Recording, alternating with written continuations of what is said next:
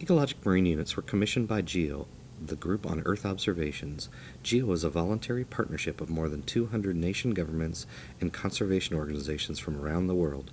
Together, the GEO community is creating an Earth observation system of systems, a set of coordinated independent Earth observation systems that interact and provide direct access to the state of the Earth.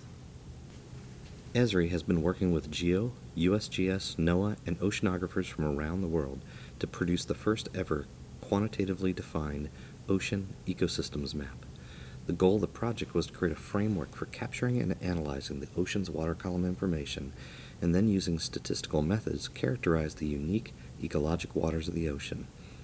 NOAA provided a multidimensional 3D dataset that included temperature, salinity, dissolved oxygen, nitrate, silicate, and phosphate. These variables represent key indicators that drive ecologic diversity in our oceans. The cylinders that are filling the ocean represent the water column from the surface to the bottom of the ocean. The water column is divided into 37 distinct ecologic marine units. These distinct units are a combination of six variables that drive ecosystems in the ocean. In this area off the coast of Puerto Rico, you can see different ecological units at the surface when comparing the northern to the southern shores. Looking at the deep water in the southern area, there's a single unit seen in light green that dominates the deep water.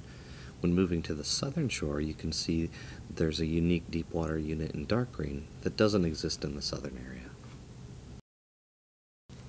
This dark green unit is very cold, high saline water mass that extends from the Arctic along the bottom of the ocean all the way to the equatorial areas of the Atlantic. It's characterized by cold temperatures of 1 to 3 centigrade, while the water at the surface is closer to 22 degrees centigrade.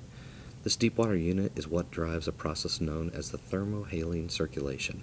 This is a process that drives the major ocean currents and circulates water across the entire planet. Now let's move to Japan. You can quickly notice the colors have moved from greens to purples in the deep areas.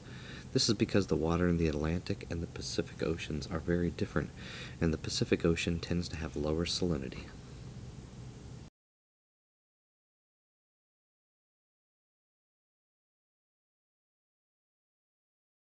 Ecological marine units are already impacting the ocean research community.